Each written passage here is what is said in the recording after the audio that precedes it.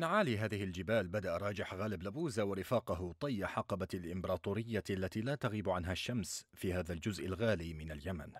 قبل ستة وخمسين عاما انطلقت شرارة الثورة من بنادق هؤلاء لتتحول سريعا إلى غضب شعبي عارم أنهى 128 عاما من الاستعمار البريطاني ومعه أدواته المحلية من سلطنات ومشيخيات.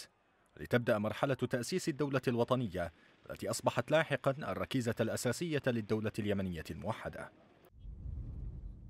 تمر ذكرى ثورة أكتوبر اليوم واليمنيون يعيشون ظروفا تشابه ما كان عليه الحال ليلة انطلاقها. فبالأمس عانت عدن من الاستعمار البريطاني الذي كمم الأفواه ومارس أبشع الانتهاكات على المواطنين. ذات الانتهاكات تمارس اليوم في عدن بعد الانقلاب الذي رعته الإمارات بالشراكة مع وكلائها المحليين في المجلس الانتقالي.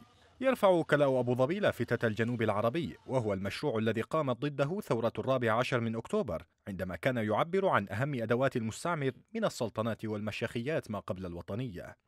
لكن الفرق أن دولا عربية كبيرة كانت بالأمس تصطف مساندة ثورة أكتوبر ضد الوصاية الخارجية ومشاريع التقسيم. بينما بعضها اليوم وفي مفارقة عجيبة يختطف القرار اليمني ويدعم مشروع تفتيت البلاد. منذ انقلاب عدن قبل أكثر من شهر عملت وتعمل الرياض وأبو ظبي على ترسيخ جذور الانتقالي باعتباره الطرف المسيطر على الأرض في العاصمة السياسية المؤقتة للبلاد.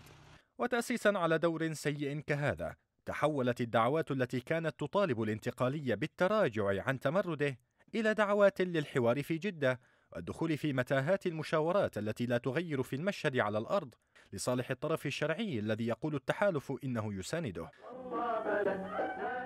لم يفقد اليمنيون الأمل بعد في استدعاء الإرادة التي فجرت ثورة أكتوبر فها هي الظروف ذاتها تتخلق لتدفع بتيار واسع يحكمه وعي الانتماء لليمن نحو إنهاء وضع تتبدى معه ملامح احتلال كامل اليوم.